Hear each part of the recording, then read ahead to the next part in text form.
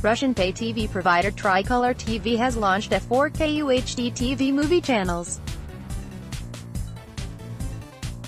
The Ultra HD Cinema channel will offer a variety of films in 4K UHD and is one of the first channels in Russia to offer Dolby Digital 5.1 surround sound.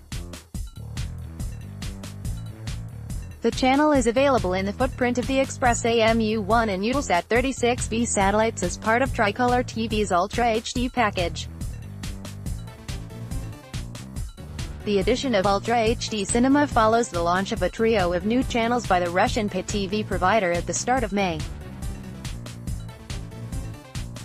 Tricolor TV added News and Information Channel NNT to its main package on May 3.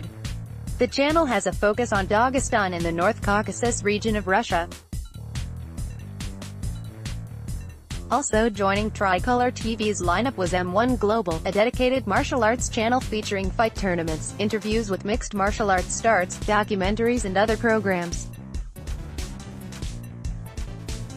Tricolor TV also added adult channel Playboy TV to its lineup.